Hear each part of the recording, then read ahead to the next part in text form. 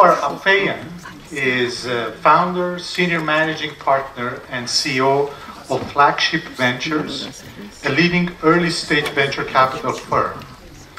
He also leads the firm's Venture Labs unit that invents and launches transformative startups. He's a senior lecturer at MIT Sloan School of Management, where he has taught courses on technology, entrepreneurship, innovation, and leadership since 2000. Dr. Afeyan has authored numerous scientific publications and patents since earning his PhD in biochemical engineering from MIT in 1987. He lectures widely in the United States and internationally on diverse topics ranging from entrepreneurship, innovation, and venture capital to, to, biological engineering, drug discovery, medical technologies, and renewable energy. In addition, he serves on the board of Ameria Bank and UWC Dilijan College uh, International School. Uh, of course, you all know that these are in Armenia. previously, he was a co-founder and board member of the National Competitiveness Foundation of Armenia. Uh, and uh, in 2008, he received the Ellis Island Medal of Honor. This is a very distinguished uh, medal granted to outstanding Americans who have distinguished themselves as United States citizens and have enabled their ancestry groups to maintain their identities while becoming integral parts of American life. Uh, Noubar is one of those special individuals who uh, have this bug in them that they have to come back to Armenia and get involved in different projects. And I think you're all very fortunate that he has that bug.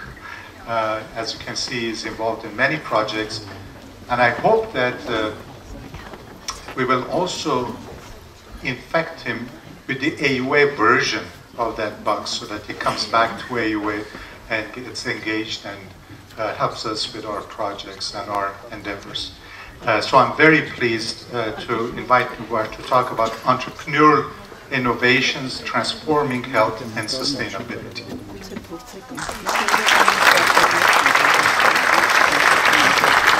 Okay, well, thanks for coming, everyone. Um, it's actually a great pleasure for me to be here. I have actually given a couple of talks here before. Uh, some of you may have seen this 10 years ago. Uh, and But the topic was had nothing to do with anything I knew about, which was back then I was talking about the future of Armenia and economic development. And what I convinced the audience was that at the time, very few people knew much about that topic, so I wanted to get students encouraged to really get involved with owning the future of Armenia. Um, it's been a while since I came back, I must have had an effect, but today I'm here to talk to you about something that I know a little better than that topic only because this is what I do professionally. Uh, so I'm an entrepreneur and an innovator, and I've been at it for 28 years. And uh, and what I would love to tell you about is just kind of what that world is all about. It's a, it's a world that I think is very much a part of Armenia's future. Uh, and, and, and I'd love to find ways to encourage all of you to find a way to be in that world one way or the other. So that's really my purpose here. I'm going to talk about a bunch of different things, so bear with me. Uh, since the audience is varied, I don't really know what interests you.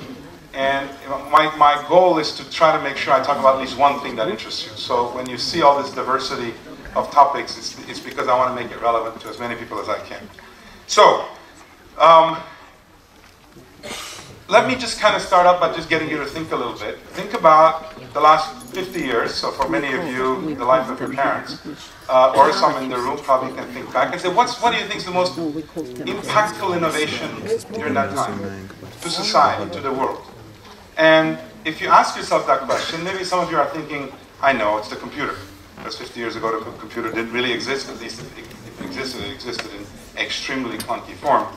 But others might be saying, surely it's cell phones, surely it's internet, Google search, electric cars that are now coming about, satellites, they didn't exist. Uh, in the biology field where I practiced quite a bit, biotechnology didn't exist. There was really, there were very few drugs that did anything back then. Today there's several hundred billion dollars of drugs that all came about with new technology, on and on. And Maybe there's some I'm missing here, so feel free to add it in your mind. I'm not going to quiz you. But I would like to suggest to you, just to kick us off and to set the mood, that the biggest single innovation in the last 50 years is the startup company. Now, you might find that weird because you might have been thinking that an innovation has to be a technology. It doesn't. It could be a process. And I would argue that the startup company, more specifically, the fact that mere mortals, just regular people, can have an idea, dream about something that there's no proof for, attract capital, attract expertise, have the legal system that allows them to make money and keep that money, all of that didn't exist 50 years ago. And it's hard to fathom. I've been at this for 28 years, so when I was doing this at the beginning, people could tell me what it was like a decade earlier. I can tell you in 1987, when I started, there were maybe 10 new companies 15 new companies started a year, if that, in Boston. And Boston was a mecca. Now there's 10 new companies a day, maybe 10 new companies half a day. And in our lifetime, this whole innovation of the startup company has come to life. Now, why is that important to you? Well, first, I'm going to prove to you that my, my hypothesis is, is at least worth considering because whereas your answer might have considered the value created by just Microsoft or Microsoft plus Apple or, or you know, whatever, Tesla, I get to count them all. I get to count every single one of them. Because what they all share in common is that they are instances of a startup company, the innovation I'm talking about. So I, I hope, therefore, you'll at least think about this and say, well, what does that mean to me? Well, one of the things it should mean to me, to you, is that this is a very new phenomenon. And in fact, in the last 15, 20 years, really since the internet, is when this has become a scaled activity, at least in the US. Now, you might say, well, that's bad news. Well, actually, it's very good news because everywhere else in the world where people think they are way, way behind, they're not way, way behind because this didn't exist in this form even 15, 20 years ago in the US. This is really new. So that's a good thing because that means that we're just learning about this field and about what makes it tick.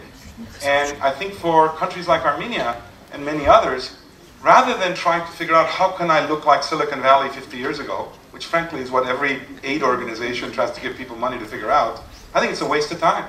I think you should figure out how it's going to look like five years from now and build it now. Because it's all new and it's all changing. So, with that as a preamble, let me kind of dive into it. And I'll change some topics as we go. One thing I want to say, this is not a slide I want you to read. It's just that I had a slide to remind me to say this is that when I'm talking about innovation, I'm talking specifically about technological innovation. Why? Because I don't know anything about the other kind of innovation. So technological innovation, whether it's a process or a product, it's still in the field of science technology.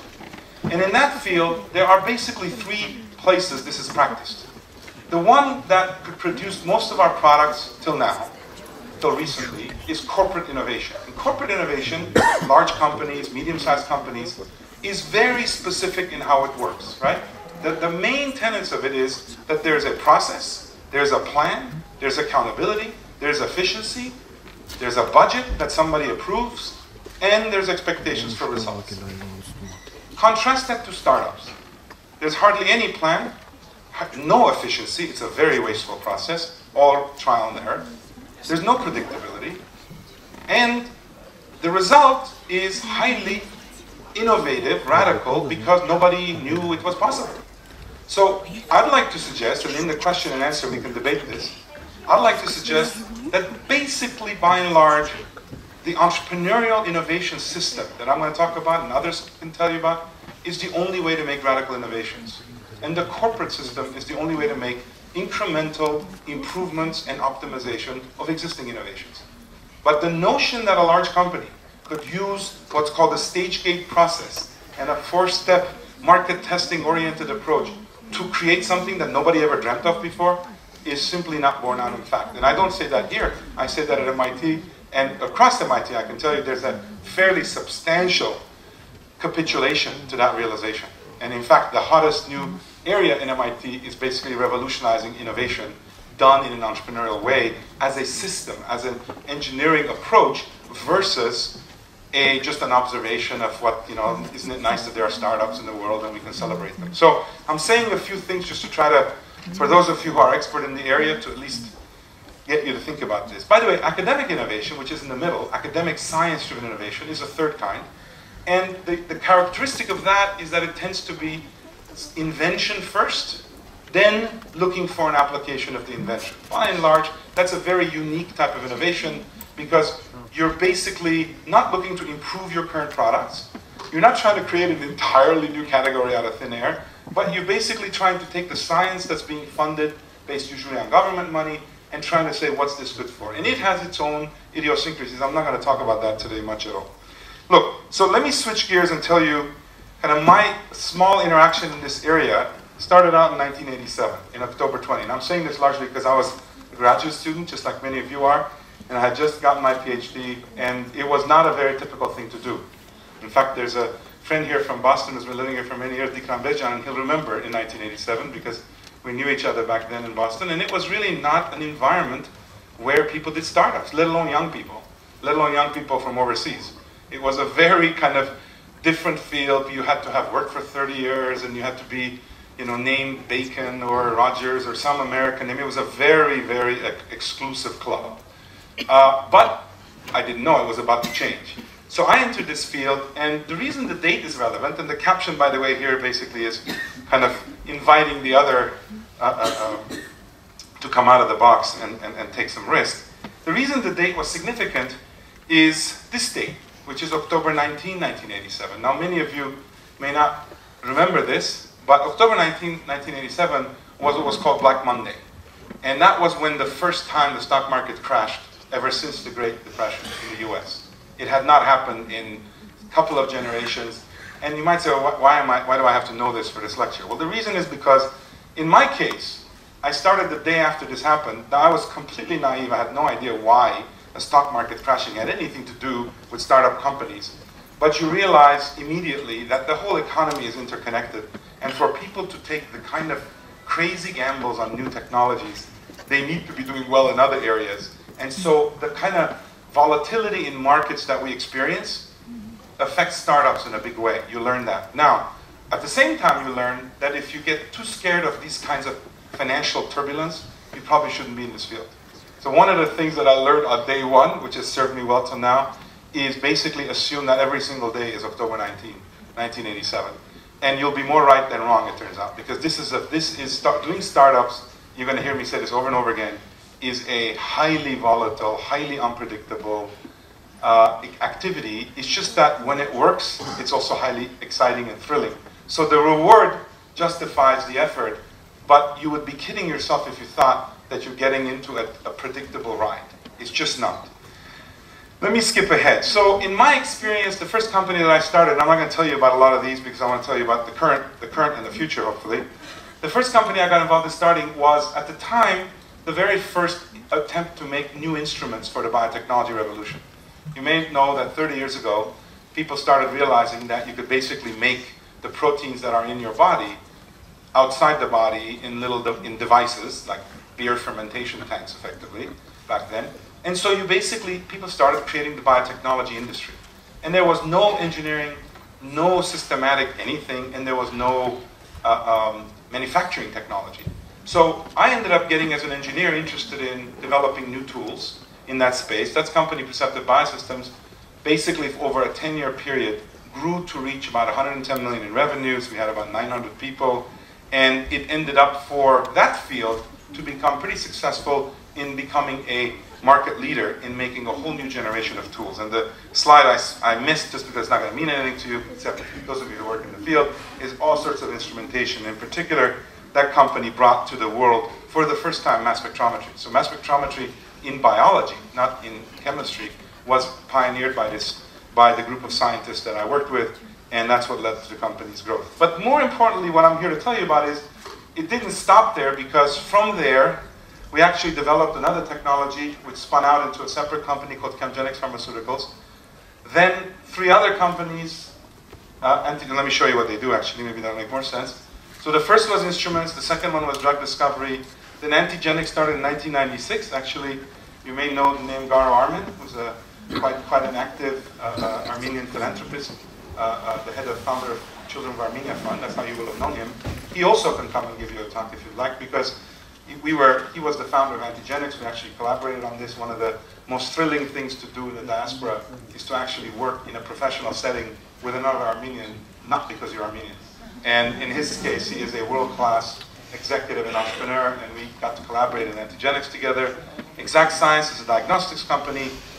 So I'm not going to be able to tell you about all these today, but the reason I'm putting this up is just to tell you that what I'm going to say is derived from not one instance. One of the things I always warn students about is that when people give you a talk based on their experience and it's an N of one, then you're just hearing a story.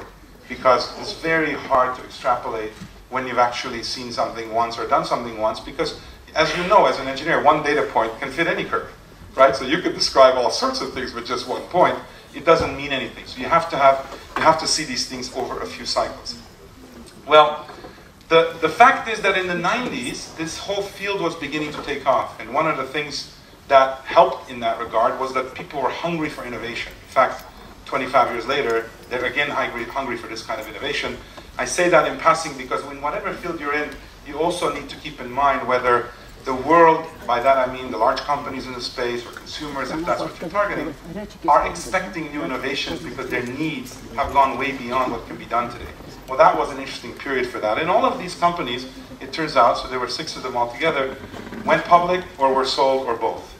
And that kind of set the stage for what I ended up doing since, which is probably the more interesting part of this talk, which is that I ended up finding myself in 2000, around the time I actually started engaging in Armenia, and I've met several of you in the audience back then, I was kind of beginning to think, what, what do you do with this? So if, if, if in one case it worked out, and then in a few other cases, but in different contexts, things also worked out, you know, I kind of thought, well, either I have to go around and tell people how lucky I am, or I have to try to figure out what about these things was worth repeating and see if there's a way to innovate how to start companies. And that's what I'm going to tell you about in about 10 minutes in the, in the kind of rest of my talk. But let me, in the beginning, just from this journey, try to see if I can uh, derive a few kind of overall impressions about entrepreneurial innovation. Then I'm going to tell you about some actual new companies that have been born out of this new process we're using, and then I'll end with some conclusions. So hopefully we have enough time to get through all this. I'll try to accelerate uh, towards the end.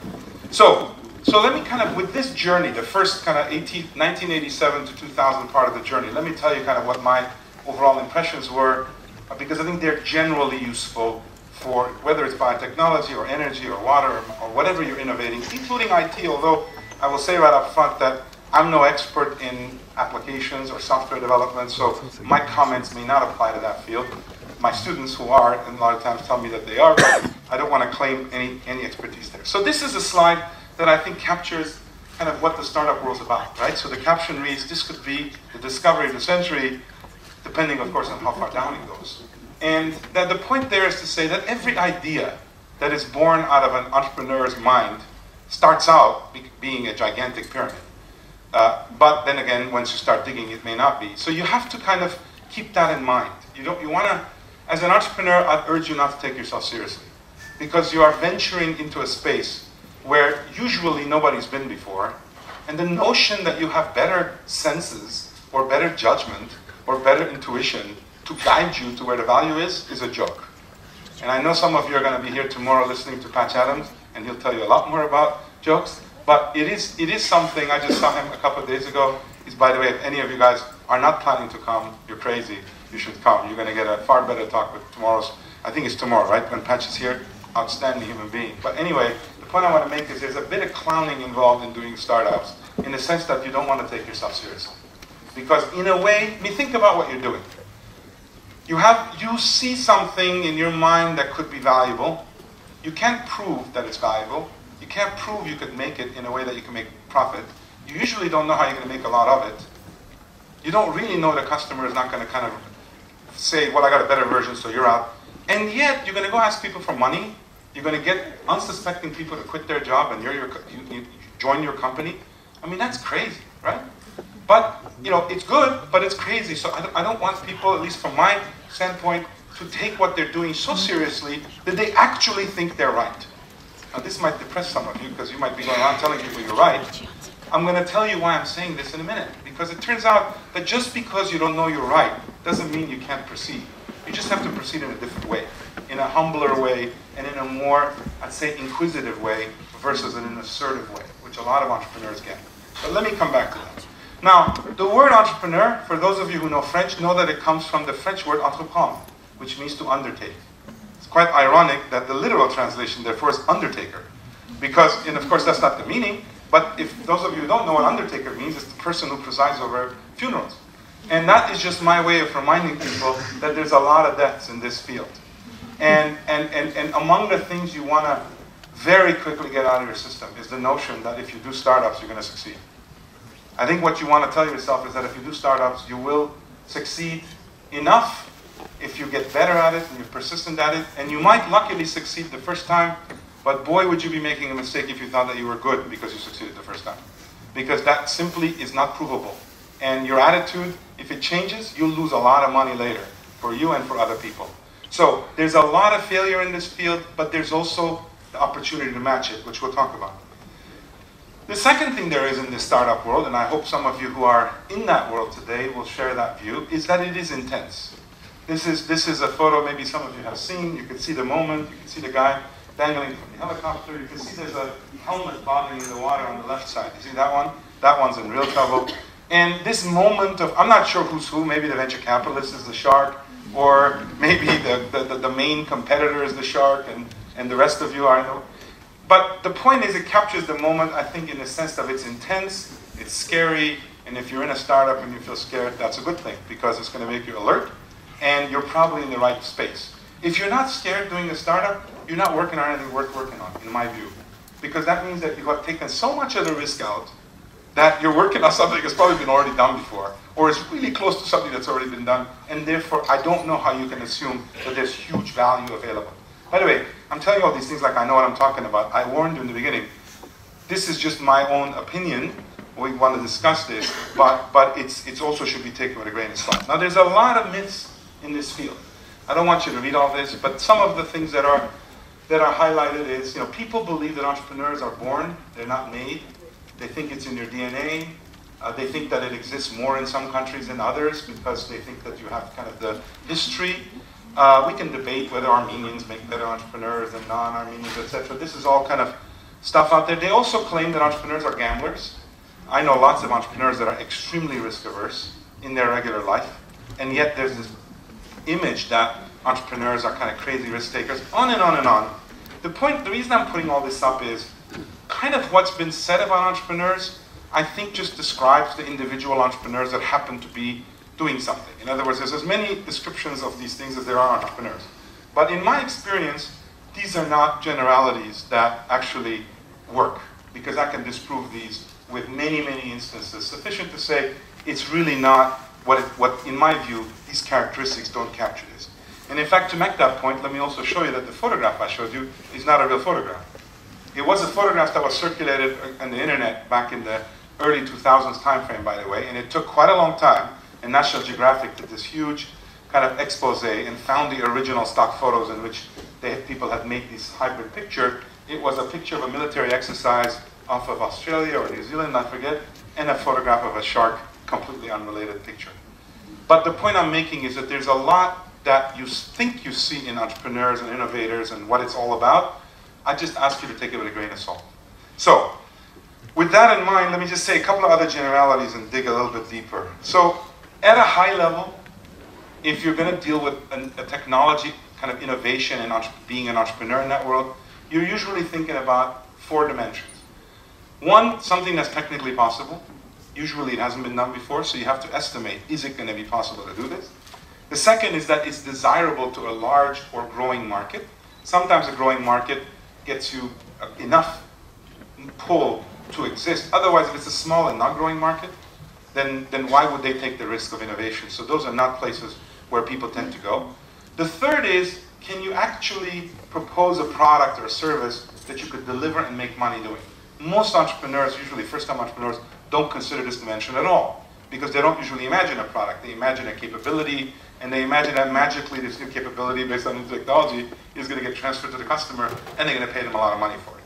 But unless you can say which product or which service is the customer actually going to acquire, to derive this value, I wouldn't go forward. And the other one is protected. It can be protected. So this is one where, this is the one main area where portions of the IT business deviate from just about every other kind of technology innovation because patents don't really apply. I work in fields where patents apply. And where patents apply, I think it's foolish not to try to protect oneself, especially if you're trying to pioneer a new area, because it's really easy for a large company to see what you're doing and then outspend you, outbrand you, out intimidate you, drop the price, do everything they can with their customers to kick you out. Your only protection at the end of the day is if you can bring them to their knees. And I'll give you an example. In my case, the company I didn't say much about, a company called Color Kinetics, was the very first LED-based lighting company. It was started in Boston by a couple of young scientists. I happened to get involved in them in 1997. So I'm talking about these LED lights. You may have seen some of them around here. They're much more popular now. Well, back in 97, these guys had the idea that little LEDs, colored LEDs, could be used with a microprocessor to get any, any additive color you want. So you could create any color light based on this approach of, of a kind of an intelligent electronic device coupled with LEDs. Well, you might say, what's the big deal? Who wants color lights? Well, what ensued was a whole slew of patents that we fought, and it ended up being 100 different patents. And then, as the company developed, LED market started to become everybody's interest. And in 2007, Philips, Philips Electronics, which actually is now the light, largest lighting company, could not sell LED lights in the US without exposing itself to a whole slew of patents. And finally, they bought the company. They bought the company for $800 million. That was 10 times revenues. Nobody pays 10 times revenues for uh, the potential of the market. They pay 10 times revenues because there was a IP lock, a patent lock, that they figured it's going to cost a lot of time and money to break, and they might as well just bring it in and make life harder for others. So patents are also very important in this area. Now, when you look at this chart, and if you're sitting there with your own idea and say, boy, I'm not really sure the technology will work, I'm not really sure the market's big enough, what do I do? Good news is, nobody knows these things on day one either. The reason I put this up, though, is you should accurately figure out which areas you know more or less about, and spend your initial money and time trying to de-risk things in these dimensions. So for example, if you already have really good patents because you've worked with a university, they already got patents, whatever, or you're licensing it from another company, then I wouldn't spend much time in the beginning trying to convince myself that I can protect it because you already have a relative advantage. But if I don't have a prototype, or if I don't really know customers will value what I'm saying, I'd rather spend time on that. So the idea is, what would you do in the first six months, 12 months to get as close to the middle as you can? That's a learned skill that I would say you should at least think about. The other thing that I'd say, I could go on and on, I won't, but is life in these startups. Now this is, you know, it's, it's good to put these up. Some of you who are kind of like entrepreneurs today might, might resonate with this. I don't know, it's like Alcoholics Anonymous, I guess. It's like Entrepreneurs Anonymous, where you show each other pictures. Um, this picture is not made up. This picture is from when they were building the Sears Tower in Chicago. And the reason I put that up is to make people realize that for those guys who worked on that construction job, this is like 100 stories up or however many stories up, they're actually having a coffee break. They're not afraid at all. They're not afraid of that because that's their workplace. For you, it might seem unbelievably scary and you know life-threatening. And by the way, if you're an entrepreneur, most of your family and friends and your parents will tell you, stop doing it, get a real job, you're crazy, you're gonna hurt you. People give you lots of advice it's because this is how they perceive it. They don't work there, right? They don't work on that ledge. But as entrepreneurs, you work on that ledge. So you have to kind of realize what's perception-driven input you're getting versus what your world is like. Let me skip ahead and make two other general points. I'm sorry, this is all kind of stuff that I can talk a lot more about, but I want to make it more interesting and tell you some actual projects. Um, there's a bunch of things that people say about the kind of what it takes to, to, to at least make progress as an entrepreneur. I didn't say succeed, but to make progress. And there's a combination of communication and selling capability you need, listening capability you need, anticipation capability, leading, on and on. But the thing I want to actually maybe tell you a little bit about is the thing on the right. So I, I often get asked, and, and also talk to a lot of other entrepreneurs, about kind of how they would describe their mindset. And over the years, the, the best I could find in, in capturing it is really paranoid optimism. So you might say, what a tortured state that is, right? And it is, it is a tortured state. So when you're paranoid, you actually don't believe a whole bunch of things you're being told. and you don't even believe your own facts. And that, that makes you alert, that makes you suspicious, that makes you constantly poised to change your assumptions, and those are all good things in this space. Why? Because think of yourself like an explorer. You're in a completely new landmass. Nobody lives there. If they live there, they probably have arrows. They can shoot, shoot at you. You've never seen an arrow in your life. And boy, is paranoia helpful as a survival skill. And so I would say that's vital. The problem is that if you're only paranoid, you'll depress yourself and you'll stop doing it. And that's kind of a lot of people who think about being an entrepreneur and they don't want to be it, get trapped with that. So the other part you need is just unabashed optimism. You want to basically constantly be seeing the world a better place than it is. And if you can manage to keep both of those mindsets, whether they're in your own head or in your team, kind of vital and protected and encouraged, however tortured you feel, I would argue you're in a good place to find the right answer. And I'll tell you why I mean this in a second, because I fundamentally believe that this startups and innovation is kind of an evolutionary process. And, in evolution, you've got a survival kind of threat. You constantly could be dead, but you're trying to overcome that. But you kind of constantly are looking for a better solution. It's an optimization approach. And paranoid optimism, in my view, captures that. And the last one of these series I'll put up, which should be, if you, you know, I don't advise people getting tattoos, but if you're going to get a tattoo, this is a completely adequate one.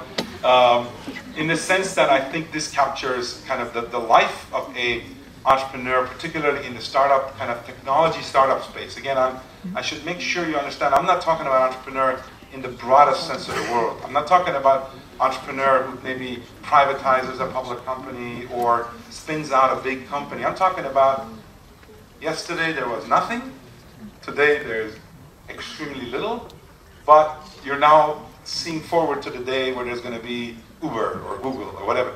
That, that's the thing, and this, this is kind of very often your state, which is you might not know how to get out of the situation, but boy, do you try to figure out how to lock that situation for a little while until you could figure it out. And that, that struggle is an existential struggle. Okay, so let me kind of tell you a little bit now about what I've been doing in, with all this as a as, as, a, as experience, kind of what, how to put that to work. So uh, about 15 years ago, I kind of went, went on an experiment with a bunch of other folks by that time who I had worked with. And the idea was, in this Venture Labs part, what I'm going to tell you about, was could we take all these hypotheses, because that's all they are, they're hypotheses, I can't prove them. And could we actually think about innovating as an entrepreneur in a more systematic way? Now, you could blame me for this because I'm an engineer by background, and I kind of want to, engineers usually want to systematize what it is that they do, if they can. And in this case, I kind of refuse to believe that 100 years from now, people are going to start companies the way they did 20 years ago, which is this kind of cottage industry and romantic and chaotic and people making movies when it succeeds. I mean, that's a really bad way to go for society because that guarantees all sorts of wasted money while people go on on crazy, crazy ideas. You want to say, okay, well, yeah, we can take risks, but where can we mitigate this risk and how can we learn? So this is kind of what we do. So let me tell you, you know, this is going to change themes a little bit. So what we have done in the last 15 years is to basically set up a lab whose purpose it is to create kind of unprecedented companies. So the idea is these are all innovations that didn't start in academia. They didn't start in a company. They're basically, they basically were happened by virtue of approaching a white space a place where there really is no technology, no preconceived need, no real product, and no protections. You might say, how can you, how can you innovate there? Well, the way we've approached it is by starting out on the left by creating hypotheses for ventures. So a venture hypothesis, just like a scientific hypothesis, basically is a initially a fictitious kind of assertion that a technology that you can describe but has never really been shown can produce this product that will deliver this value to this customer so you can make some money and you can protect it. That's a hypothesis. Now, in a brand new space, and I'll give you some examples of these in a second in case you're saying, what is he talking about? In a brand new space, it turns out you can come up with lots of hypotheses because they don't have the, the burden of being viable. They just have to be you know, plausible. So what we do is we actually populate a, a, an emerging space with a bunch of hypotheses. And then we engage in this iterative process that, for lack of a better word, I could only describe as Darwinian. Right? And we'll come back a little bit, talk about that at the end. But you know, I don't know how much people here think about Darwinian evolution as a process, as opposed to a religious concept. I, am not talking about it as a religious concept. I'm talking about it purely as a process, which is variation, selection, and iteration. If you take those three operators, variation, you take something, you make many versions of it. Selection, you put pressure so that some of them have to survive and the other ones can't in some dimension. In the regular, in the natural world, it's basically you constrain resources and things compete for resources and whichever ones can get the resources and reproduce themselves win and whichever don't go extinct. Selection. But then the key is neither one of those two things alone. It's iteration. You have to be able to reproduce enough so that the idea that gain an advantage can produce progeny, which in turn can compete again. And by those cycles, we humans call it trial and error. Well, it's not really trial and error if you think about it methodically. You can arrive at something that is a lot better than when you started. Well, that's kind of what I would suggest to you is a way to think about innovation and entrepreneurship in a brand new space. So that's what we've done. And I'll give you some results from this, and we can have, ha happy to talk more detail. But basically, the idea is you start with hypotheses, you engage with a broad community, hopefully that you have access to. In our case, we have a great community of academics, other entrepreneurs, experts in the field, non-experts in the field. So you might say, why do you want to engage with these people? And why would you give them your idea? Well, the answer is since our ideas aren't worth anything because they're just made up hypotheses, it turns out that if you expose these made up hypotheses to experts, guess what they like to do? Let's take a think about it. If I came to you and I kind of told you that I'm going to take some new found material and I'm going to put it together with another one and I'm going to make a device that's going to kind of measure the temperature in this room and predict how many people are in it. I just made something up, right? Now, if I told Aram this issue, he has pretty much good knowledge of materials and how they combine and how far a gap it is from predicting the, how many people in the room for a temperature, then he might say, that, that'll never work, and here's a reason why, right? So if you take nothing away from this talk, let me just kind of pause and just get you to think about one thing. When you're thinking about a brand new thing in a brand new area, it turns out that you need the help of, of, of kind of the crowd think of it as you know wisdom of a crowd. You've probably heard about this, but you need them in a different way. You don't need them to give you a good idea. You need them to tell you how bad your idea is. And it turns out that most people love telling other people how stupid their idea is. I think it's the second.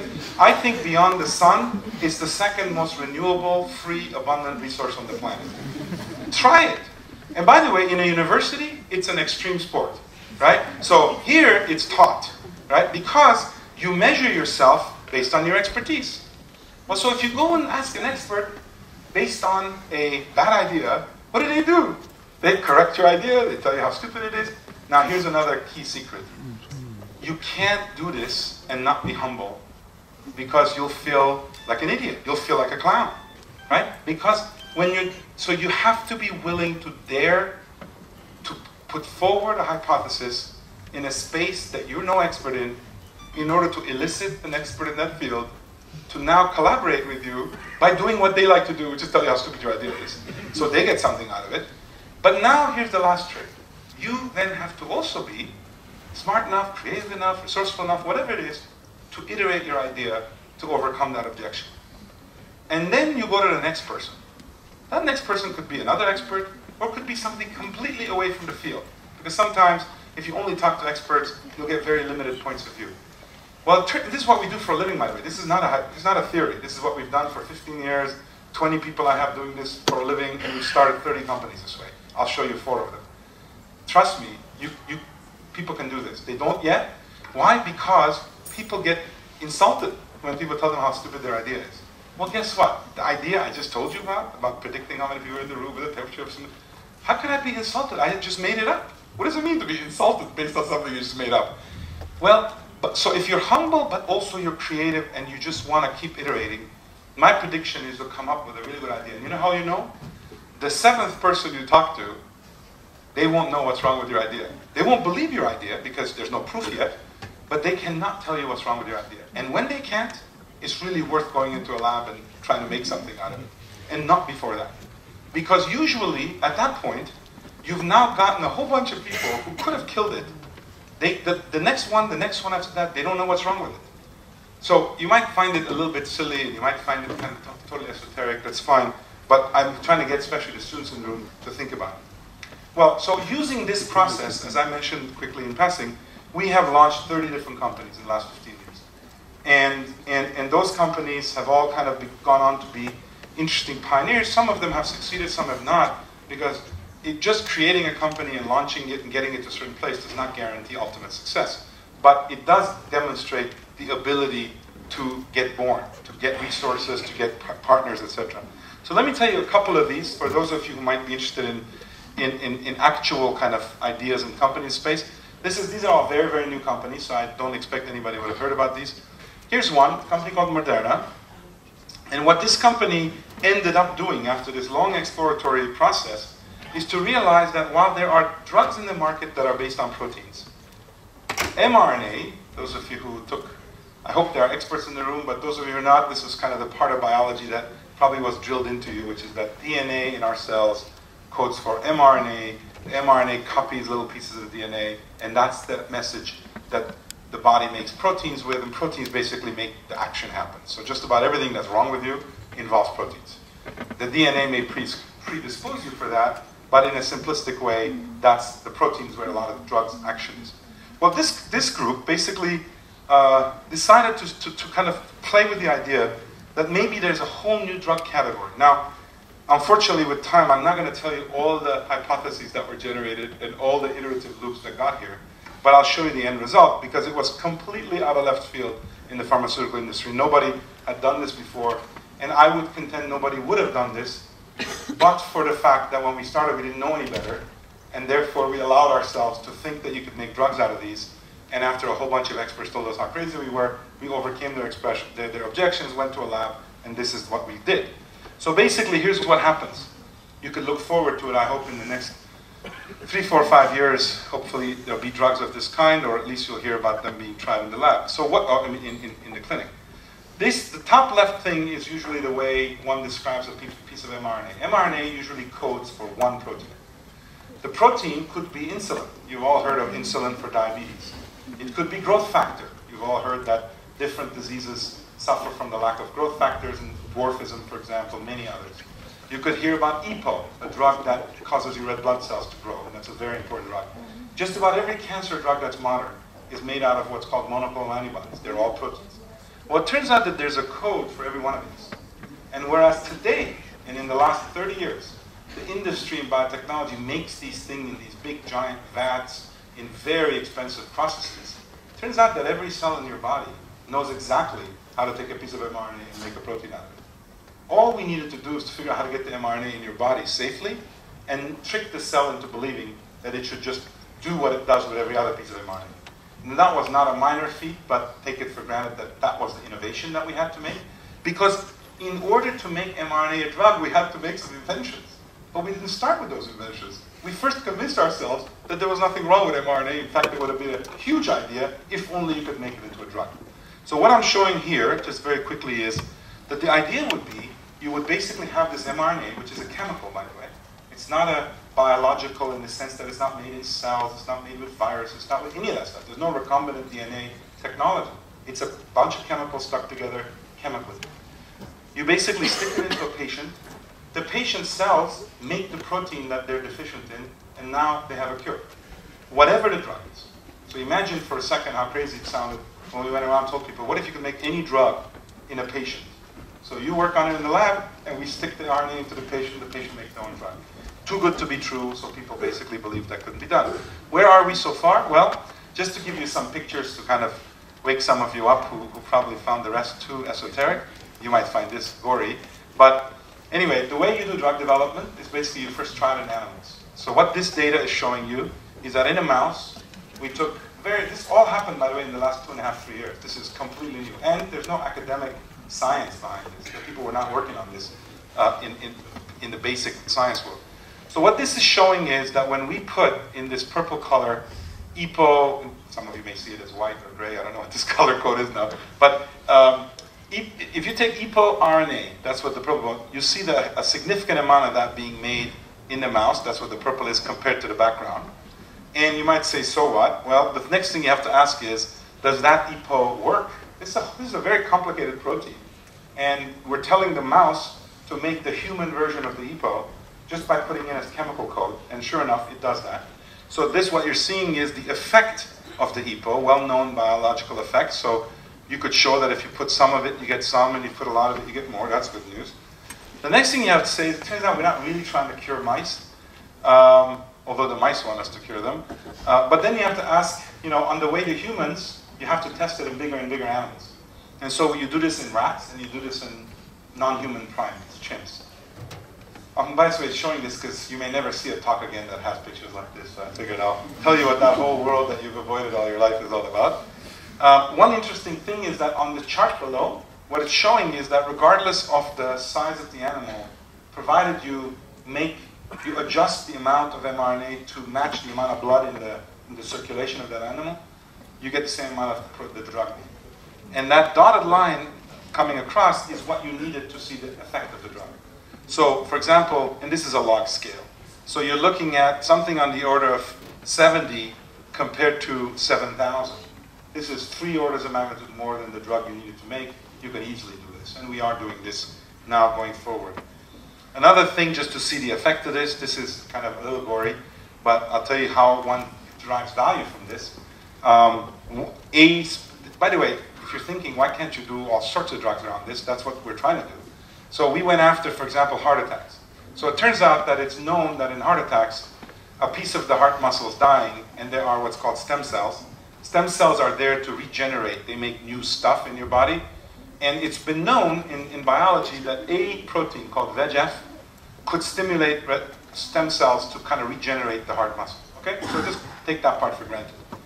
Well, what we did is we took VEGF, the mRNA coding for VEGF, and we injected it into mice right after we give them a heart attack. I know it's a little cruel, so I hope the mouse lobby is not here today. But, but they help save lives. It's just as simple as that. They do help save lives. So basically the experiment here was done in Karolinska Institute and Mass General Hospital, was basically taking, taking the mRNA, sticking it into a mouse, into the heart through a catheter, and basically the mRNA gets taken up by the cells, they make the protein, the protein works, and the way you know it works is that in red, are the number of mice that survive. Typically, within a few days after this heart attack, a day or two, all the mice die. There's no, nothing you can measure after a few days. In this case, 60, 60 uh, of them survive 360 days after, which is miraculous for the mice.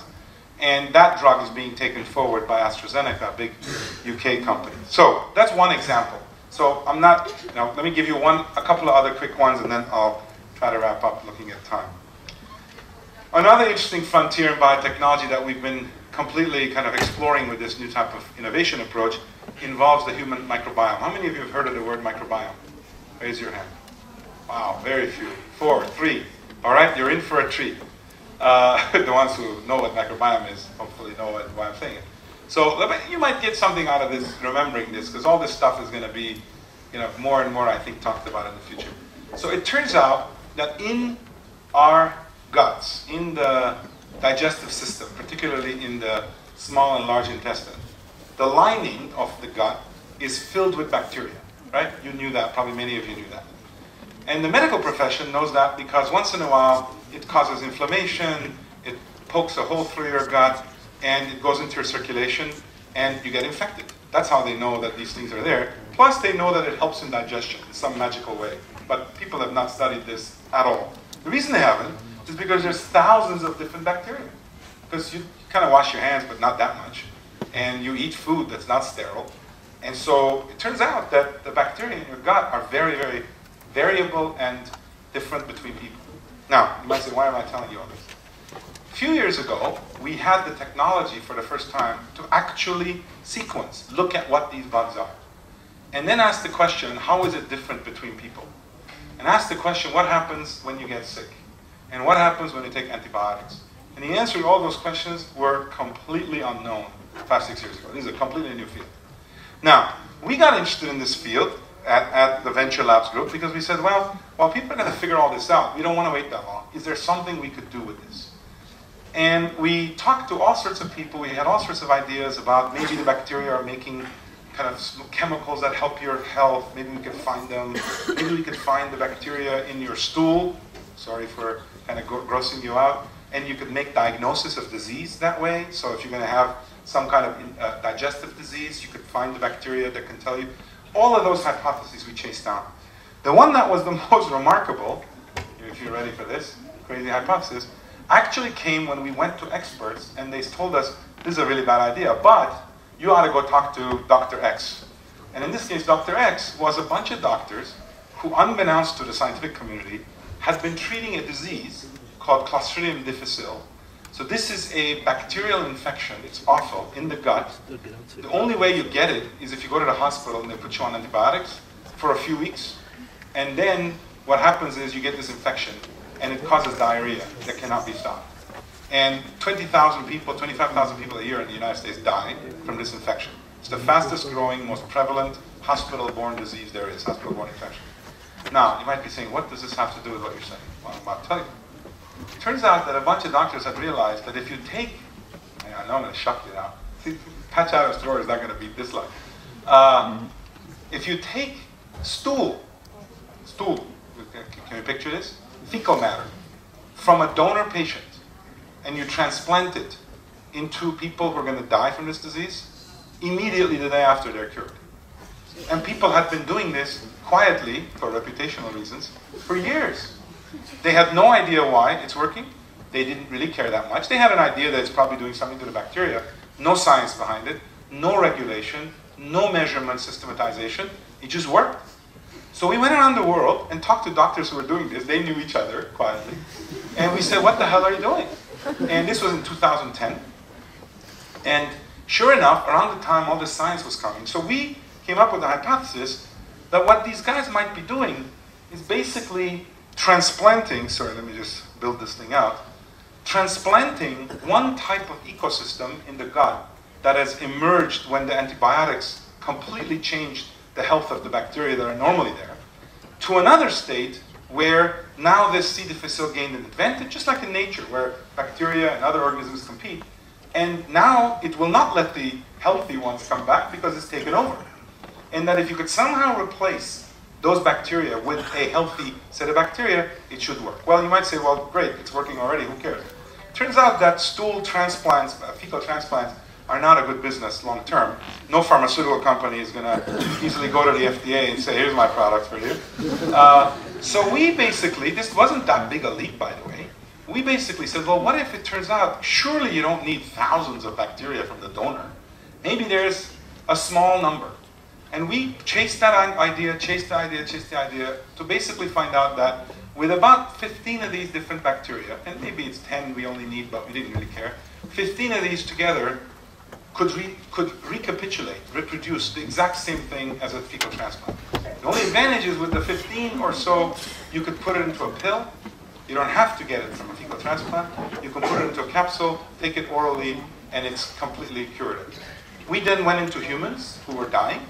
This is now a year ago. And in 30 patients tried it out, 29 of them completely recovered. The one that didn't recover uh, which is, by the way, better than the fecal transplant. I should have said fecal transplants work about 75, 80% of the time. It's not really 100% of the time. But basically, 29 out of 30 was a big deal, so now we're testing it in human trials. More to come there because I should tell you that there's a lot of data that suggests that obesity, so if you look at the gut, uh, the gut microbes in obese versus lean people, obviously care about that, completely different ecosystem.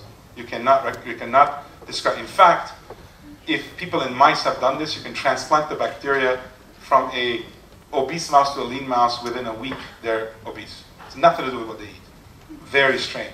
No, I mean, it has been reproduced dozens of times. It turns out that it has huge effects on mood.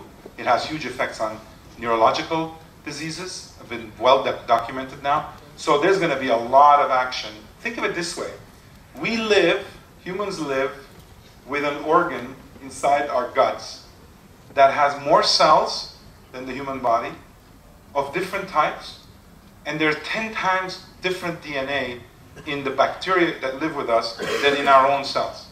So you know how people freaked out when we sequenced the human genome and they declared to the world we have broken the code of humanity? Well, guess what? Without the code of these bacteria, which are 10 times more genetically diverse than humans are in terms of their gene content, we haven't figured any of that out. Because if you take bacteria out of the human gut, sterilize them, they'll die. They cannot digest food. 20% of the chemicals in our circulation come from these bacteria. It's a profound part of our life. It's an organ, and we didn't know anything about it until recently. So, why am I telling you all this? All of that came after the fact because we tried to say, well, surely there's got to be something we could make in this area. And stay tuned because this company might do a little bit of interesting things there. While we're at it, let me tell you just in passing one quick other example. Very, I'm going to superficially skim through this. This is the fun part about innovating kind of in a reproducible way because you start, you, you go after one thing and then people start saying, wait a minute, why aren't we also doing this? So in this case, at the same time as this was happening and we were realizing how vital these bacteria are, part people in our group said, you know what? Are bacteria also doing the same thing in plants? Now, all of you who took high school biology learned words symbionts and uh, symbiosis and all the stuff in the roots and how fun, fungal and bacterial organisms in the roots give nitrogen and carbon and there's this beautiful ecosystem biology people study, right? And then you forgot about it. Well, it turns out that that's known, but what's not known is that inside plants, inside plants, are hundreds of different bacteria. And when they make seeds, they put a few of them into the seed. And if you take those, those few out, as humans have done over generations of breeding corn and wheat and soybean, then those are very sick seeds, which then they've tried to improve with genetic engineering because they're sick seeds. And all of that was a hypothesis that some of our group basically went around telling people, and they said, You're out of your mind. And they probably were half right. Except what came out of it is this little project, it's about a year old, and what we have now shown is in fact just that, that there are in the endosphere, what's called, not in the roots, not on the outside of leaves, but inside the plants, organisms that are vital to its health. And the proof points, very easily, is we've isolated a whole bunch of them, and we've added them back, back to the seeds. And when you add them to a corn seed, we've seen 10-15% increases in yield, in drought tolerance, in a bunch of other features. In fact, we are not doing anything special. The bacteria have co-evolved with these plants for millions of years, and they have the same relationship with these plants as we have with the organisms in our own gut. In fact, curiously, a lot of those bugs are also in our gut, because we've been eating those crops for a long time, and we haven't been sterilizing them and washing them or anything. That's how they got there to begin with. So it's an interesting kind of field we have, we have isolated from all over the world organisms that uniquely cohabitate with these plants, and we're adding them back in, and we're seeing some pretty interesting results. The most further along, we've done field trials for three seasons now. On average, water use efficiency, nitrogen use efficiency, we've been seeing some pretty interesting uh, improvements. And in that world, you kind of look at the physical result. You're not going to see this very well. Look at the bottom right. You know, so on the left side, without the seed treatment, just regular high-end corn, but in drought conditions, you get these little pieces of corn. And just by adding a single bacterial species to the seed, the same exact thing, you get dramatic improvements, etc. So, um, you know, in the interest of time, I'm going to try to give you, you know what, let me skip. So those of you who are interested in energy, I'm going to skip this, although it's a great, it's a great, promising project. Uh, Armin, how much, how are we on time? When do you want me to wrap up? I don't want to. Well, people. By the way, I won't be offended if you leave. So feel free if you're you get sick and tired of it. I have, I teach class every week, so if some of you have to go, feel free. But I'll, I'll, I'll try to wrap up in another seven minutes. How's that? And then we can have time for questions. Um, so very briefly, a fourth project just to tell you the diversity. Um, we got interested in a big problem in the world, and that is um, carbon CO2 emission. And everybody's worried about CO2 emission. But the problem is the way they're going about doing it is not making anything useful out of it. It's to bury it underground or to prevent it from being made, like using electric cars. And all of that is great, except the planet makes a lot of CO2. So we got interested in one of these hypothesis-driven explorations to say, what could you do with carbon dioxide that could actually add value back? And So those of you who know thermodynamics and will know that that's a pretty crappy starting material to do anything with because it's in a totally oxidized state and you're going to have to put energy to do anything useful with it. Well, it turns out that there's a pretty cheap source of energy out there. It's called sunlight, and I'll come back to that. But those of you who are not taking seriously carbon dioxide and greenhouse gas emissions and just basically global warming, we can have another debate if you want. I'm not a, a peacenik or, or an environmentalist or anything, but there is no scientific support for the notion that this is not having a huge negative effect on the planet. None. So anybody who's doing that should also be advocating that smoking is good for you. No, I don't want to offend anybody, that, but it's just the scientific data is very, very strong. But nothing can be done about it because we're all addicted on, on oil and we're all addicted on gas and on coal and we're not going to accept a life without lights and without heat. So, too bad. And our grandchildren will certainly want to do something about it, but then it'll be too late. So, with that as my soapbox, I apologize. Let me tell you what we've been trying to do. This is very, this is a long-term project. No short-term satisfaction out of this, but let me tell you what it was about. And it's, to my knowledge, the only effort of this time. There's no, we have not been showered with lots of academic company because I think this was kind of something that could only be done industrially. So we basically have taken what is combustion, which many of you will remember is you take a fuel, hydrocarbon, you add oxygen, basically you, you, you, you, what that produces the combustion process is water, carbon dioxide, and energy. That's what, that's what happens in your car, that's what happens in all sorts of combustion uh, processes. And we are completely addicted to this process. Cars mostly run on this, our factories run on this, CO2 is produced everywhere. So it turns out that if you think carefully about what a plant does, right, a plant, or the word photosynthesis that you probably learned but you didn't really think of it maybe this way, is exactly the reverse of that. The only problem is it doesn't make a fuel. It makes a plant. So it makes corn, it makes wheat, but it doesn't make a fuel. Now people, as you know, have tried taking biomass and convert it into a fuel. And there's a growing industry of people who are trying to do that. The problem is that that's multiple steps, and we can discuss the, the, the, appropriate use of biomass and land. But let me tell you the alternative we're trying to do, which is we started asking the question, since we know there is life forms that can take carbon dioxide and make it into something, could we get those life forms, these photosynthetic, it turns out in our case bacteria, that exist in the ocean, and could we actually make them make a fuel? What fuel? Ethanol or diesel. And we started in 2008 down this journey, and we have exactly done that. We've basically taken photosynthetic organisms that do the same process of what a tree does, photosynthesis, but except we have added to it the genetic elements needed to take what they make inside of them to make more of themselves, and instead convert it into a fuel and spit it out. And that's what the process is that Joule, this company, has been developing. More specifically, if you're in the biochemistry field, you will like seeing these kinds of charts. Basically, we take the organism, and you see that left X sign, we basically can genetically switch off its ability to grow. So for us, the organism can, cannot grow. It just becomes a catalyst. It becomes a little bag, nano factory of catalyst.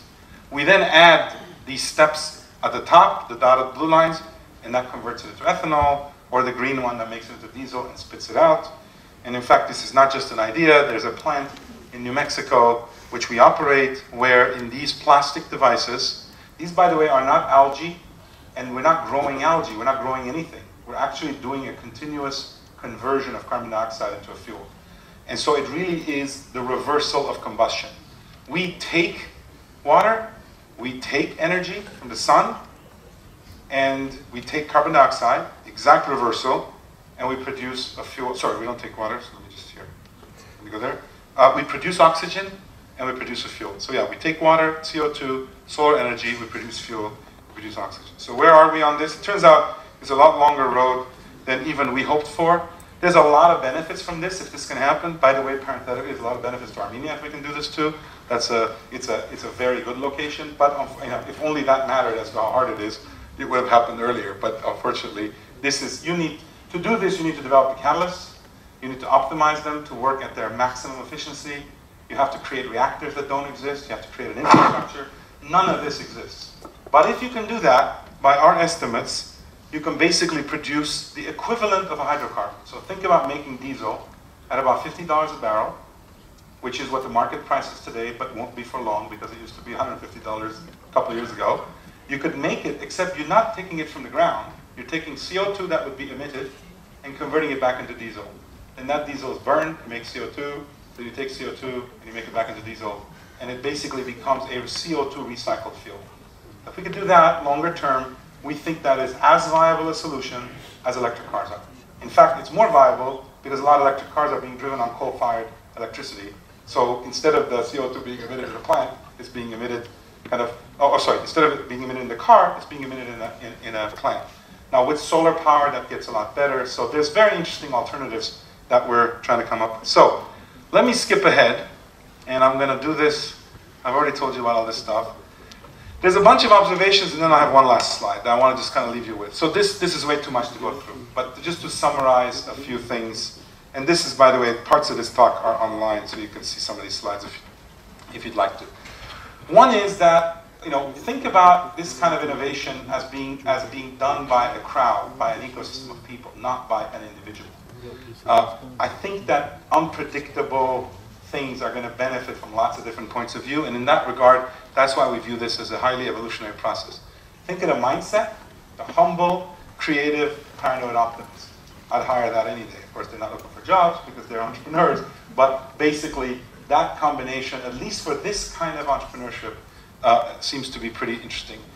Uh, and the fourth bullet here is worth pointing out. It's, going to sound like a statement. I can't defend it, but you can ask questions. Fail early. One of the things that we as entrepreneurs often do is we don't want to ask the killer question early on. Why? Because it could kill us. And it's kind of preservative not to do that. So you kind of say, well, I am going to do that a little later, and I'm going to raise some money, and I'm going to do this, and I'm going to do that. Then I'm going to get around to that question. But if it turns out that if you value your time and other people's money, if you ask that question early and the answer is no, you can get on to working on something. So if there are really killer questions that speak to the technical viability or the patents, if somebody else has patents all over your space, I would not just kind of duck it and say, well, I'll figure out what I can do. So there's this fail early, and don't avoid the killer question part. Strategy, a lot of people pay a lot of money to hire consultants for strategy. I think the most prevalent strategy in startups is just being adaptive. Because I, it's inconceivable that somebody outside your team knows how to build this company because nobody's built that company before. If you're really working in a brand new area, how are they going to know what you're supposed to do? So the job is on you and the only way you can figure it out is through this iterative process, but for that you need to stay adaptive. So think of adaptation as kind of your strategy. Again, it might, it might make you unhappy because most people want much better answers to what the strategy should be for winning. I don't have one. I've done this for a long time, and I think that the only way I can tell you is if you, if you fail at losing, at the end, that's called winning. So if you could just stay alive and keep looking for value, at some point value will find you, and, and then you, and by the way, one other warning, last, my last kind of warning of this sort, is you'll hear lots of people talk about entrepreneurship. I'm sure at AUA you have them every semester. Every startup entrepreneur tells their story. By the way, I didn't tell much of my story for that reason. Not the way it happened. Because if you, if you believe what I showed you and believe what I said to you, which is that it's a messy, clumsy, desperate, iterative, chaotic process, who the hell would come here and give you a talk and tell you that that's what it is? Instead, people go, we were young and we thought the world could be different and then we created a prototype and then somebody, and it becomes like this lovely story, people make movies out of it. I can tell you having talked to thousands of entrepreneurs, literally thousands over all these years, no company that has succeeded in a big way has ever not almost died along the way. And nobody goes around telling people, you know, we did a few things and then it worked out, but I'd like to say it was because of them, but a lot of it was not. And, and, and as long as you know that as a practitioner, you'll also realize not to look for a lot of rationality in what you're doing. Some of the time, you just have to kind of hang on and adapt and keep find work close, stay close to customers, stay close to the even the competitors, because you're searching for what the answer is. So the last, last, last, last thing I'm going to do is just end on this slide, which is come back all the way to wording. Remember in the beginning I told you entrepreneurship. So I had a few slides about the future. I'm going to skip them, but only to say one thing, which is the reason I wanted to bore you with all this stuff is that I actually think that thousands of these companies later, or tens of thousands, there's, by the way, like 5,000 biotech companies now, and there's probably 50,000 IT companies, for all I know. And those numbers are beyond any cottage industry I know. It cannot be that people are going to keep doing this the same way. And I suspect that the big change you're in for, especially if you're students, is that in your lifetime, and I'm trying hard to make it so, this activity will go from being something that kind of people with attention deficit who can't hold down a job do, which is what people used to think what entrepreneurs are, to a profession. So I'm telling you in a highly controversial way, I, my prediction is that there will be professional entrepreneurs in the next generation. And what do I mean by that? So before you throw up or leave, let me tell you, 150 years ago, if there are doctors in the room, there was no medical profession. And people used to go around and kind of bend people's elbows and shoot stuff into their bodies, and one out of ten people would respond, and th- those people would be knighted. They would be called magicians. And today, of course, if one out of ten die, they get sued. Uh, what changed? The answer is, yeah, we got better technologies, but they became a profession. People said we can't just all be wingy and make stuff up and do it. There's a few norms.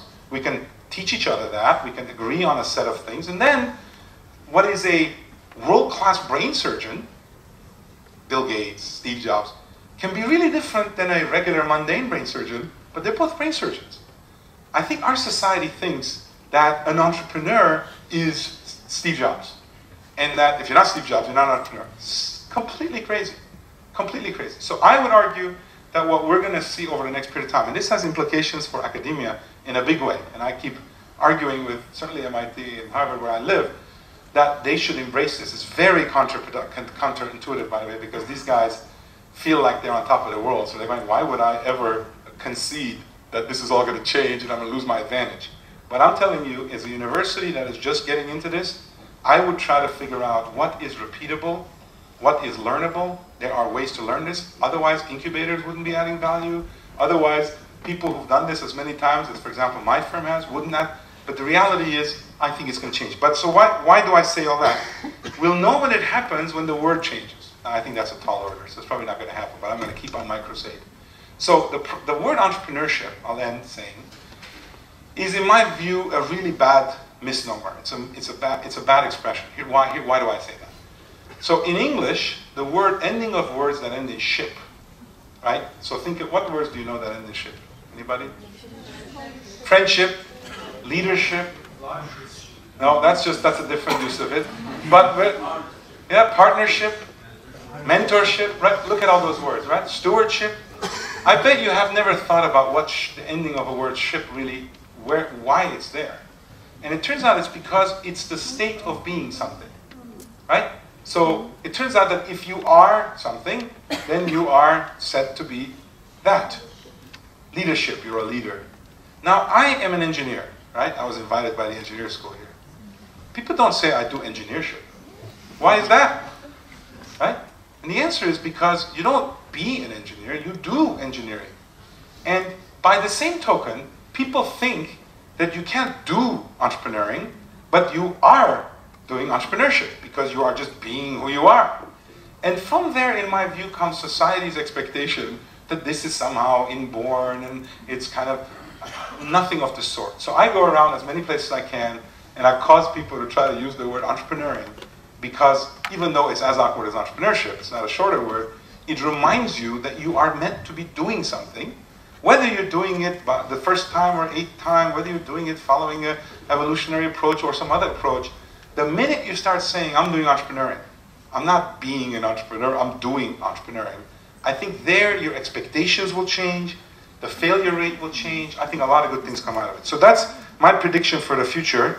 Um, I didn't have a picture of AUA, so this is MIT.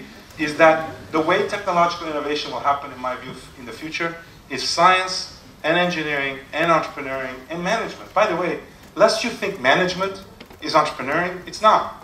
Because by definition, you need to have something to manage to do management. So when there's nothing, that's not management. I'm sorry. But, but certainly today, management schools teach entrepreneurship because it's the closest place where people think about business and IP and this and that. But I actually think that long term, when we start thinking about entrepreneuring as a learned then improved, then practiced in society, where you can kind of give people your own best learnings. That's what I look forward to. I don't know when it'll happen. So thanks for listening, and I'm happy to answer whatever questions you have.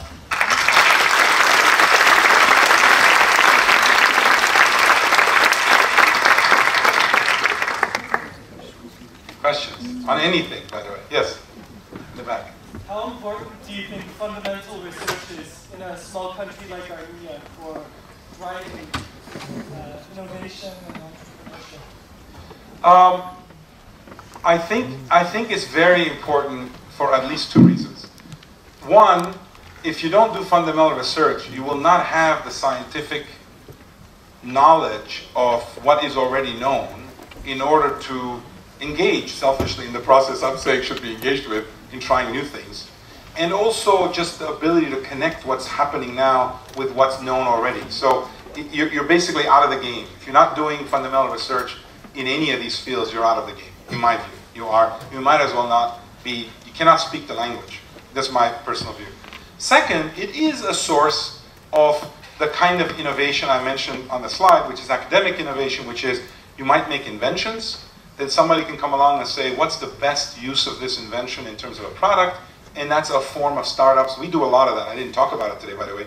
But the, the run-of-the-mill conventional startup where we, that's our bread and butter in my firm, is that. It's not the new way, but that's a very robust way. So I think if the country wants a slew of new startups having investment in research that is has its application focus is a very important thing. I don't think you can have one without the other. Other questions? Yes, please. Many years ago, I have been told if there is a patent to be made, international patent, that has to be made in Washington, Otherwise, if you patent a new idea in your country or any other place, then you want to make it international, that wouldn't work. And the guy who was telling me was a retired American Armenian fellow who was in the U.S. Patent Office. Here in Armenia, I heard just the opposite. First, you have to make a patent in your country. Then you go to the second phase to make it international patent. Which one is a true story? Because well, I yeah, I'm I'm I would say uh, with, with, the caveat that I'm not. Well, I'm, I, I, we have a lot of patents. We have about 300 patents at Flagship that we've been granted. So I do know something about it, but I'm not a patent expert. So you know, make sure you verify this. I think the reason the first person told you that is because a patent that you file for in your country is prior art in the U.S. So in other words, if the patent you file in Armenia publicly available, and then you go to the patent office in the U.S., the patent office in the US will reject your patent by saying it was public information, made public through your patent in Armenia. So, as a result, it is the right advice to file a patent in the US, and for that matter, to file it in Europe, it could be within 12 months of the first filing because it's a confidential filing. In the US, you can make a confidential filing and it will not be public for 18 months. Within the first 12 months, it's advisable to also file in Europe. But the notion that you should file in Armenia and have it public before you file in the US, I can assure you that will ruin the patent in the US because that will be public information. In fact, I'll tell you one other thing. If you file one patent in the US and then after it's public, you file a second patent, the first patent is prior art to the second patent. You understand what I'm saying? So because a patent has to be novel, unobvious, useful, all properly described, there's a bunch of criteria, one of the novelty features is that somebody has not publicly disclosed something that makes this obvious. Well, if somebody in Armenia filed a patent, it was public, and then you went to the US after it was public and you tried to file a patent, the patent examiner would say it was obvious because it was already made public. Anybody else could have taken that public patent and used that, so I can't give you extra rights. I think that's what they might have been telling you, but you should get expert advice. Please. Um, there's a lot of talk, and you ended your presentation with that engineering, science, management, entrepreneurship coming together. Uh, there's a lot of discussion in the literature that the STEM education that we're uh, focusing on needs to be supplemented by uh, a good dose of humanities. Mm-hmm. Uh, you have started many companies. You've gone through the process of ideation to market. What, what is your experience? did humanities really help people from You know, I, it is a great question. So um, I think it's fair to say that um, I probably didn't have nearly as much humanities as would have helped me, but I cannot, so therefore it would be silly for me to say it helped me because I didn't have a whole lot of it. I went to engineering undergraduate school, then I went to MIT, and the closest you came to either one of those two humanities were humans around you. There was no other, there was no education. And it was, I think it was a bad thing, because I now have four, four kids, three of them have gone through college or are going through college, and in several of them who are following science and engineering fields, they have a huge dose of humanities, and it matters a lot. I think it matters in a bunch of different ways. By the way, it should seem ironic to some of you to think that an engineer would put forward the notion that evolution should be the way we think about ideation in startups because evolution is not what you learn in engineering school. It's, it's very much kind of comes, it comes from biology, but it's also a, there's a lot of evolutionary thinking that goes into linguistics, that goes into just generally philosophy, thought processes, a lot of these things. So I think being exposed to things that are out of your field is extremely important because, you know, I think all we do as humans is actually hypothesis ge- generation. I think any form of creativity starts as a hypothesis, and then when people like it, you become a famous artist. I don't think people know they're famous artists before they do this. And I think they iterate and iterate based on feedback. Same with music. So I think those concepts and being willing to think differently than what you're being taught, taught is a non-STEM concept, I, I would argue, unless they start embracing it. I'll tell, while I'm at it, if I can hijack the question, make a couple other points. The other thing that I think adversely selects, and I think in, in science and engineering, this is high, even easier to do than in humanities, for example, and that is that people are graded. And people are graded on being right. Now, if you got anything out of my talk, what I'm telling you is that you should be prepared to be wrong most of the time, because that precedes your being right, if you approach it the way I do, and a lot of other people do. Well, where in your university do you learn how to be wrong and be encouraged and rewarded for it? You don't, especially in science and engineering. Science, at least they teach you the scientific method, which is meant to kind of encourage that kind of hypothesis-driven science. But I would say there also has to be the exposure to the notion that there is no absolute right or wrong, and that in the idea space, you've got to try different approaches. So I think also kind of there's attitude things that, that we can do a lot better at, at a, like I mentioned earlier, learn how to be silly. Again, I'll, I'll tell you, come see Patch Adams. Learn how to be silly. Learn how to make a fool of yourself and feel good about the fact that you made a fool of yourself. Do that in school a few times, unless you get bad grades and you flunk out, and guess what? You're a lot better prepared for a life in innovation than you would be if you tried to be right all the time. Because how can you possibly be right in something that's never been done before? I don't know, luck, basically. That's the only trait that I think you can correlate with that. It's just simply not possible. So you might as well be, you know, artists, you know, people say poor artists, you know, they're always going to be poor, right? Well, a poor artist is the de facto state. And you might be trying to defy it, but if that gets you down, don't be an artist. Right? Well, it's no different as an entrepreneur and an innovator. Right? If you really think that your idea is supposed to be right, I think you're kidding yourself. That's, that's at least that's the experience that, that I've seen. Please. Mr. Afia, you spoke about the research and invention aspect of it. You know, where does the interpretation of the idea come from?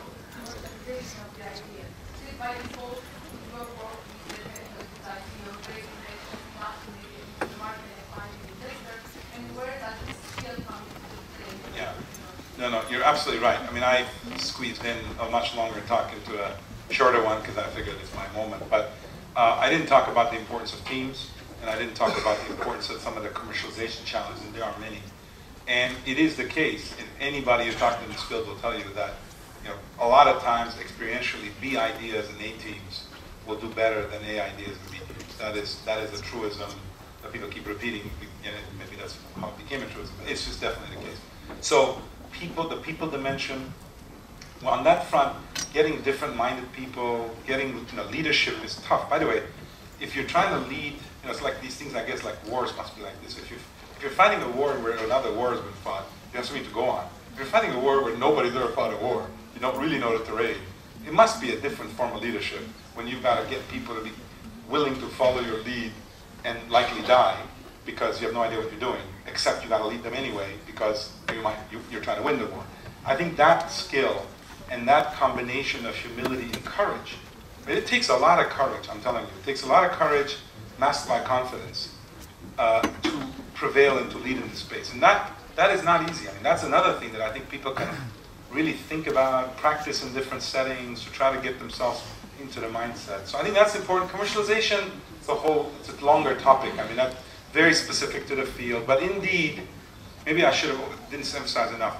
Your job as an entrepreneur is to imagine value, then demonstrate value, then create that value, and get rewarded for creating that value. Along the way, you need resources, and then a lot of other characteristics to make to go all the way to the end.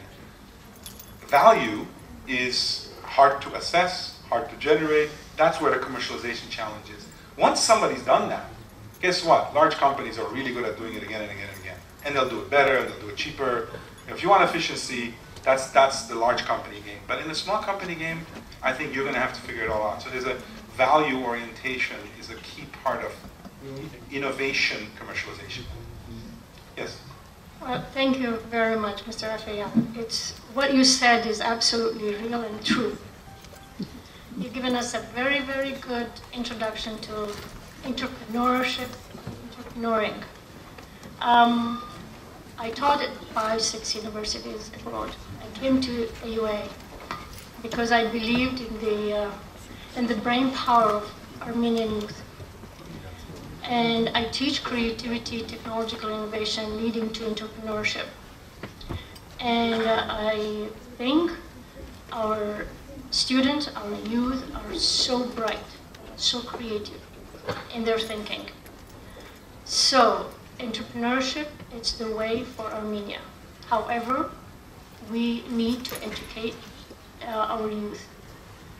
And uh, so my question to you as an expert, and you're a very experienced person, would, are you willing, or what avenues do you see for uh, our youth if they have, given the, the status or situation at AUA where we have no laboratories, science laboratories in any kind, um, can you put your venture money as seed to make at least some of the ideas that the student give, whether they are social problems, scientific problems, and uh, or political problems, to bring it to a fruition. Thank Yes, you. so, thank you. So there's a, a few different things that you, you said. I, I would say that if, if the question is, how does AUA do it?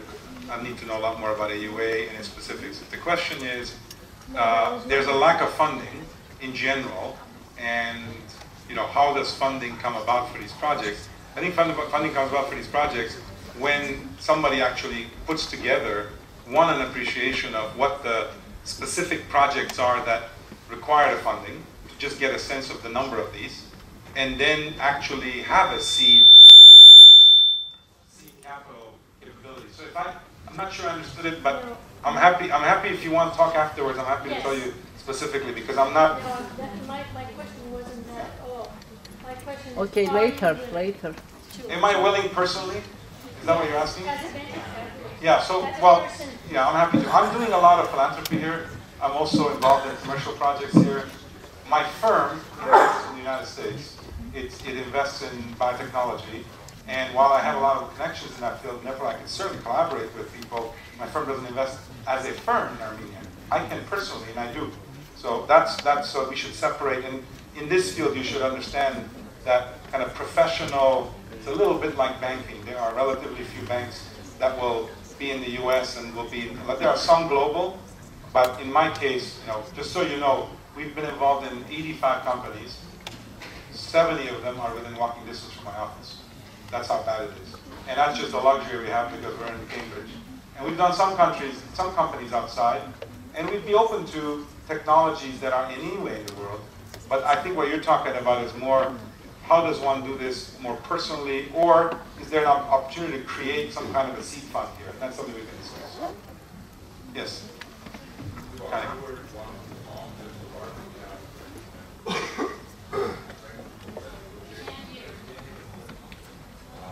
Noubar Afeyan was one of the founders of our DNAP 2020 project, and in the framework of that project, uh, there were developed several scenarios, which are hypotheses about the future of Armenia. And now they are in the year of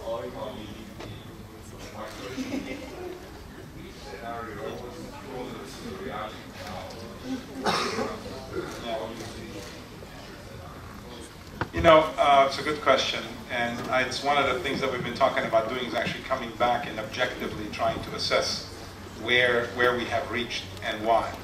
Uh, because I don't, you know, it's impressionistic things and gut level things in this space could be misleading. I could tell you that I think for a number of years, based on the growth in the country leading up to 2008, 2009, we certainly were, you know, the, the, the tiger of the Caucasus. We wrote back, you know, published a book with that title, as you may, know. And, and it was singularly the fastest growing space in a country of this kind for many years. Obviously, after 2009, things changed pretty dramatically, so these externalities kicked in. I don't think that we've recovered quite from that, and it had lots of shocks in the country. I think in terms of the political system, openness to developing competitiveness, it's been a mixed bag. I think that's objectively the case. Um, I am highly encouraged by the progress in the IT sector, and I think that if we could make that, I mean, I visited Synopsys this morning, and I haven't seen it for many, many, many years in its early incarnation. I've seen it, and you know, if you could make, uh, as was described, kind of a country out of that island in the IT sector, uh, you, you've gone someplace. One of the other things, guys, you may remember, and actually I bring it back to the discussion on innovation for all it's worth, and I'm, I'm a, an admitted kind of uh, idealist in this regard, but I think I'd, I'd urge you to think about it this way. We used to talk a lot during Armenia 2020 that one of the challenges in the country, which is kind of the loss of talent, immigration of people out of Armenia, that if you think about that as a normal process, what is it that causes people to immigrate? I would argue simplistically the perception that in the place they're going to, they have a better life than the life they have here. But actually, development is just immigration in time. It's not in space, it's in time. And if you get people to be able to conceive of a common destination that can be here, but that is a better place, then they can work towards immigration in time without having to move out. And by the way, any of you who move to another country will also know that that's no easy thing. You don't know the language, you don't know the laws, you get treated as an outcast, lots and lots of things. But immigration in time, at least in, in the country, I think that remains the objective. But obviously, you know, there's there, there's a lot of there's a lot of challenges, and we identify a lot of those challenges, and I think they continue. Can I say that this is like, we're on track to Singapore? No. Uh, can I say that, you know, the EU uh, scenario we talked about, I gave a talk here, I remember at some length about the four scenarios. Obviously the EU has no more wanted us in their EU than we've been able to get into their EU, but certainly they've shown some openness. The Russian scenario, I think, has been probably a little bit of a, of a giant pulling force. You know, so that's been, there was one scenario, by the way, those of you who have no idea what we're talking about, there were four scenarios developed there was a Singapore one, an EU one, one called Russia with, from Russia with Love, which basically was a closer to Russia. Back in 10 years ago, the economy was nowhere near as close to Russia as it is now, by, by default, I think, and by actual need. And then there was one that was kind of the Syrian scenario, which was basically militarization and continued conflicts, and that driving the essence of the country. I think we've actually done better than that. In my objective judgment, I think we've done better than that. But it is a hybrid, and I, I think going forward, we have a lot of work to do. I'll also remind people, just because Gary threw me a softball, as they say in the States, where it's easy to hit one. Uh, I think that I think that everybody who's an entrepreneur in this room and an innovator in this room has to, on the one hand, do this for financial gain, on the other hand, do it to improve the field they work in, but also use their talents, develop talents to help develop Armenia. Because it turns out that immigrating in time is the job of entrepreneurs and innovators. Because that's all innovation is. Think about what, what does an innovator do? They take the current status quo and say, I really hate this. And they come up with a new one, you know, an iPhone, whatever. And what is that? That's just also a form of immigration. It's immigration in the device world from a one type of phone to another. So if you think about innovation, immigration, and development as common concepts, there's differences, but in common concepts, I think you'll find that you have a special role as an entrepreneur and innovator in development just as important as any regulator or any World Bank or any, financial development approach. I would like you at least to think about that. That's the only reason I got involved in this. That's the only reason my good friend Ruben Vardanyan got involved in this was because of that. Was that we were both entrepreneurs and we thought, who's going to do, who's going to care about this more and be willing to be wrong as many times as we are? Because that's what we do for a living. Other questions? Yes, in the back. No, it's you. Go ahead.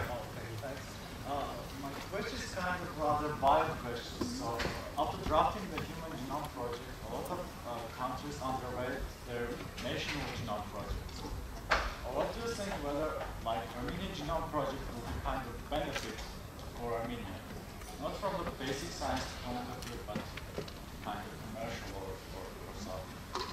Uh, look, it's an interesting question. I mean, as you know, Iceland, of all places, and also um, Estonia, have national databases. They have sequences of everybody, and they follow the health of everybody. That might be a little harder to do here because the healthcare system needs to be of a certain state where it's all electronic, and so it's easier to manage everybody's healthcare. But I think that if you if you could do if you could do the genome sequence and the healthcare electronic maintenance, then there's value to be created because this is a small, relatively homogeneous population. And genetically, we're not that divergent from each other, which it turns out from an experiment standpoint is a good thing. From, from a worldliness standpoint, maybe not so much, but experimentally, we're probably a good cohort. For those of you who are in the genetics field, by the way, another really, really interesting thing somebody should follow is very recently there was a paper showing the what's called epigenetic changes. Now, those are some of you are going to cringe here, but I'll tell you anyway. Turns out that your DNA is not static. We all thought your DNA is the same. You get it from your mother and your father, and that's it.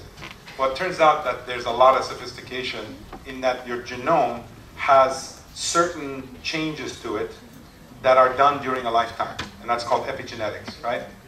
You might say, why does this matter? I'm going to tell you why, this, why you should care.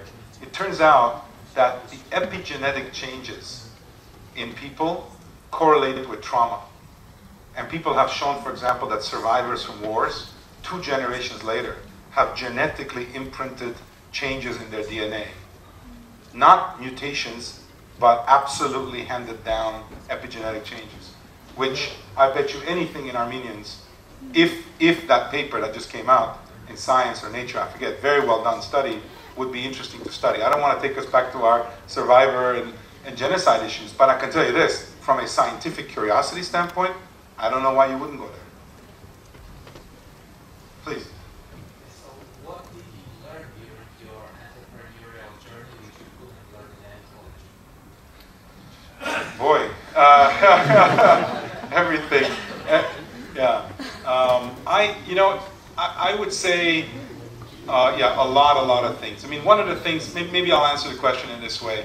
One, I wish I knew a lot more. I didn't get any of these mindsets. I did not think of what I'm doing as this kind of discovery journey and val- I didn't know anything about value coming out of an engineering school. I mean, I knew something, but I could do economic analyses of old things. I couldn't do economic analysis of non-existent things. So there's a lot of there's a lot more things I could have learned. I wish I learned, and I hope they teach now. That's one thing. The other thing, though, I would say is that the, if you ask me a slightly different question, which is what did I learn in college that has helped me the most? And I would say that that question is easy to answer, which is as simple as learning how to learn. And it really, really is the case that because technology changes so fast, if you are working at the edge of any field, it turns out that the experts know very little more than you do because they just found out a little while ago. But if you can learn quickly, you can keep up with them and beat them in any area. But if you don't know how to learn and you go by what you learned 20 years ago, then you better work at really the middle of the field because it's very nice and comfortable there. But you're not going to do well at the edge. So that's something that I learned kind of along the way that has helped advance. I think we're out of time, so I, I'm happy to ask, talk to people a little bit afterwards, but May I have the last question? it's up to the. Yes, okay, why don't we, as, as, as we're just, One more. one quick question, please. Um, my name is Gohar Gülümyan. I work for the World Bank, and I'm very glad you, you mentioned the uh, economic report we produced about 10 years ago.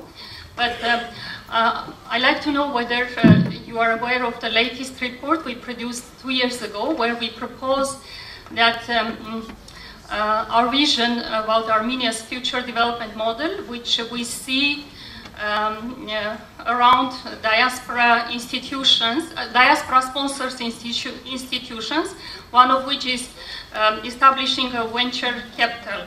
Uh, um, I like to second the professor's opinion, not just uh, um, one or a personalized uh, uh, scheme, but more sustainable institutional scheme diaspora nurtured uh, um, venture capital to be established and uh, promoted. How do you see this model working in Armenia?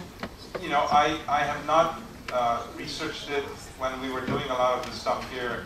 The topic came up multiple times before.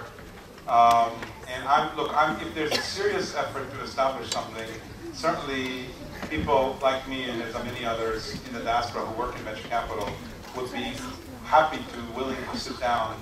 I worry, however, that the people may not like what we have to say because we're not going to say what the reports say. We're going to say how hard it is and what's required. But I'm more than happy to, to engage. And by the way, I've met with the World Bank expert that was hired from Israel to help give this advice, and I told him a year and a half ago that I'm more than happy to talk to him, and he never called me again. So I, I invite you, I invite you, no, no, not you, not you, I was very clear, I invite you, you know, this topic has come up a bunch of times. I think people would like for this to exist, but how to create it, there's a lot of ways to do it wrong.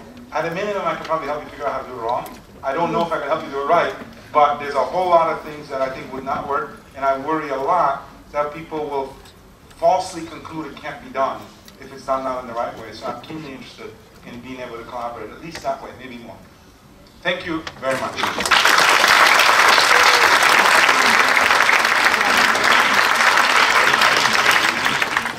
Whereas, as you can see, you have to come back. We could go on asking questions. This was a fascinating talk. I learned a lot. Uh, I really enjoyed it. Uh, we have a couple of gifts for you. Uh, this is a book, uh, a personal book. I, it's about my father. I wrote it. Uh, he was an artist.